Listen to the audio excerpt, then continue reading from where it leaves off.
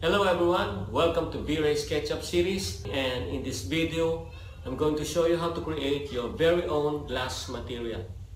And if you like these types of videos, consider subscribing to this channel and don't forget to click that notification bell.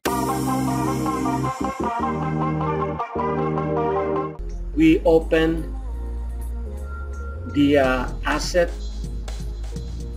editor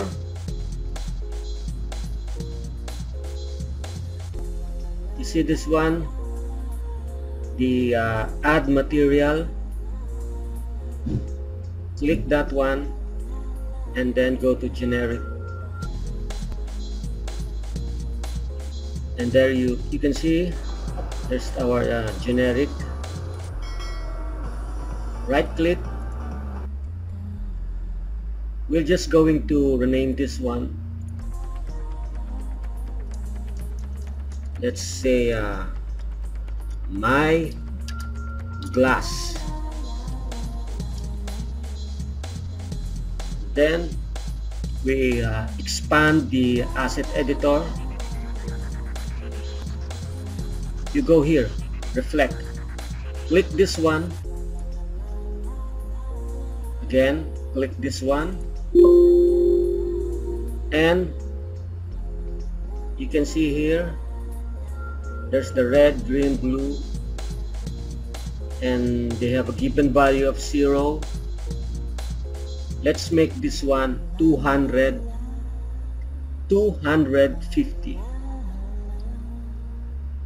same with the green. The blue. And okay now what we did in the in the uh, reflect we'll just uh, right click you right click your mouse and copy and paste this one here in refraction. Right click paste.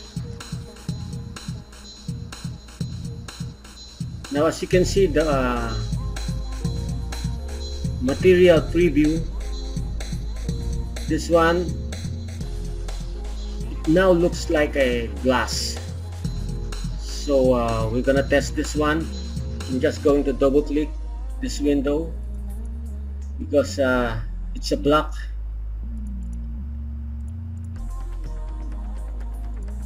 Okay. Now right click apply your selection. Just double click get out of this one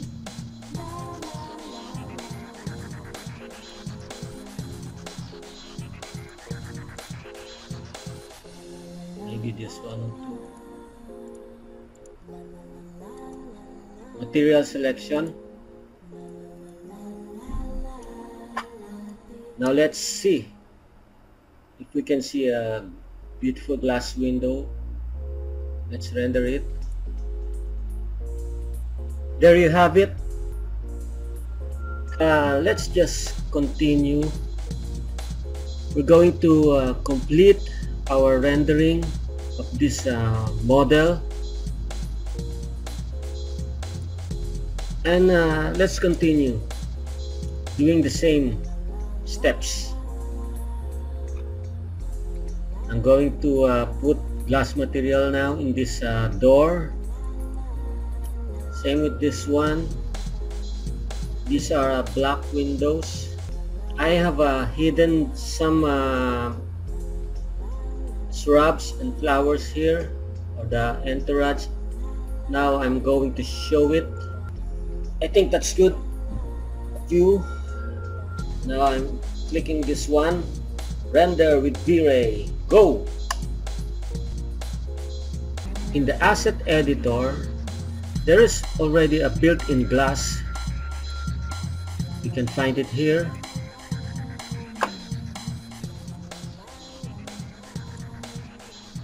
This is the glass.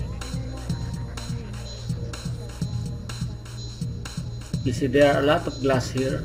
It's ready made but uh, when I learned about this I've been using this one instead of this uh, built-in glass material in the asset editor.